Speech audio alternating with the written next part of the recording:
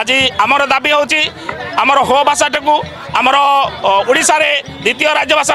নামিত করা আমি দাবি করছু এ দাবি যদি আমার দুই হাজার চবিশ পূর্ব ন মানতে সরকার তাহলে আমি তার জবাব উচিত জবাব দেবু হো ভাষা তা সাংকু আমার এমএলএ টিকট পাঁচ হাজার এমএলএ শিক্ষক এবং আমার প্রত্যেক ଅଙ୍ଗନବାଡ଼ି ସ୍ତରରୁ ମାନେ ଯେଉଁଟାକି ଲୋ ଲେବଲ୍ରୁ ଅଙ୍ଗନବାଡ଼ି ସ୍ତରରୁ ଆମର ହୋ ଶିକ୍ଷକ ହେବା ଦରକାର ଆଉ ଆମର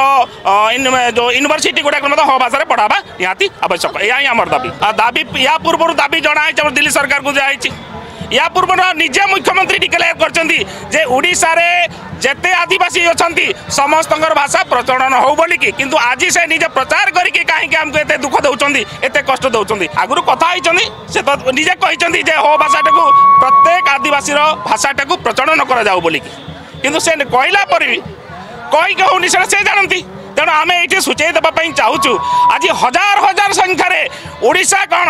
ଭାରତର ସବୁ ଅଣକୋଣରୁ ଆମର ହୋ ଭାଷାମାନେ ଆସିଛନ୍ତି ହୋ ଜାତିର ଲୋକ ଆସିଛନ୍ତି ସେମାନେ ଏ ଭାଷା ଆମର ଦ୍ୱିତୀୟ